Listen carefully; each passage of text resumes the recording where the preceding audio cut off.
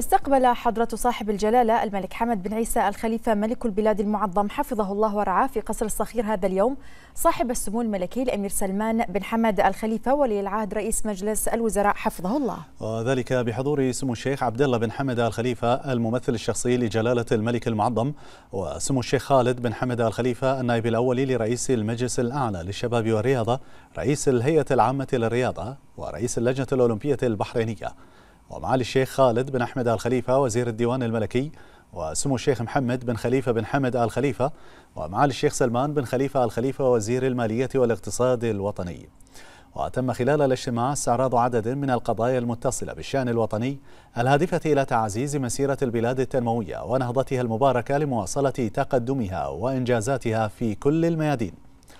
وكذا حضرة صاحب الجلالة حفظه الله ورعاه. أن المواطن البحريني سيظل دائما محور اهتمام الدولة والهدف الرئيسي لأي خطط وبرامج تنموية. مشيدا بحرص صاحب السمو الملكي ولي العهد رئيس مجلس الوزراء المستمر على خلق الفرص النوعية أمام المواطنين.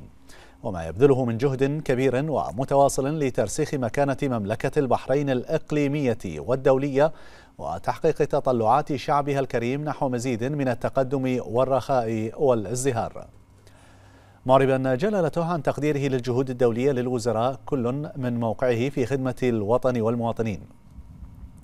وأكد جلالته أيده الله اعتزازه بترابط أهل البحرين وما يجمعهم من أخوة وتكاتف ووعي بالمسؤولية المشتركة في إرساء دعائم النهضة الحضارية مؤكدا على تمسك البحرين بالأهداف والمبادئ المستخلصة من تاريخها وحضارتها عبر عصورها. المتمثلة في الانفتاح على جميع الحضارات والأديان والثقافات وتعزيز قيم التعايش.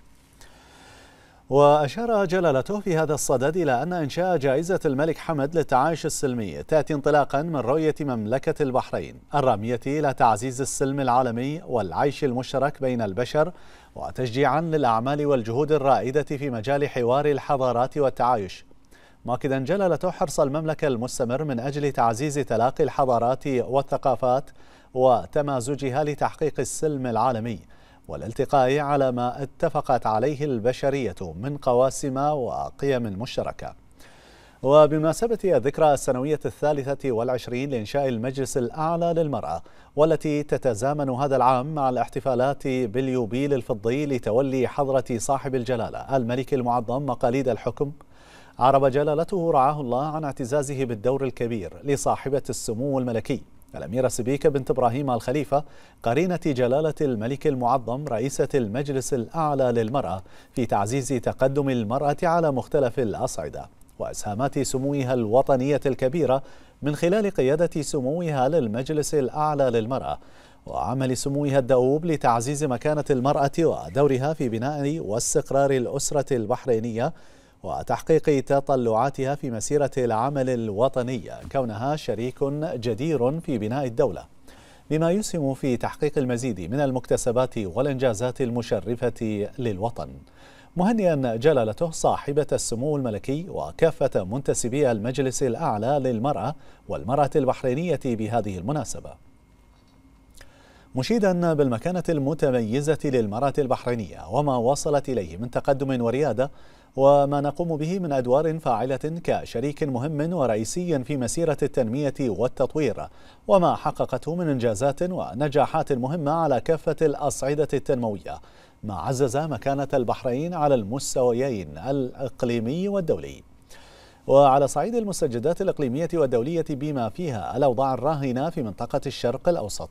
أكد حضرة صاحب الجلالة الملك المعظم ضرورة العمل من أجل الوقف الفوري لإطلاق النار في قطاع غزة وضمان الحماية للمدنيين فيه وتوفير المساعدات الإنسانية الكافية والآمنة والمستدامة لهم.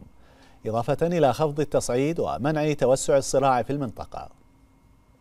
وإيجاد أفق للسلام الدائم والشامل القائم على حل الدولتين وقرارات الشرعية الدولية كونه السبيل لتحقيق مصلحة الجميع. مؤكدا جلالته دعم البحرين لكل الجهود والتحركات الإقليمية والدولية الهادفة إلى تحقيق التهدئة في المنطقة وتفادي المزيد من التوتر والصراع بما يحفظ السلام والاستقرار والأمن فيها ويصب في مصلحة جميع شعوبها ويحقق تطلعاتها في التنمية والازدهار.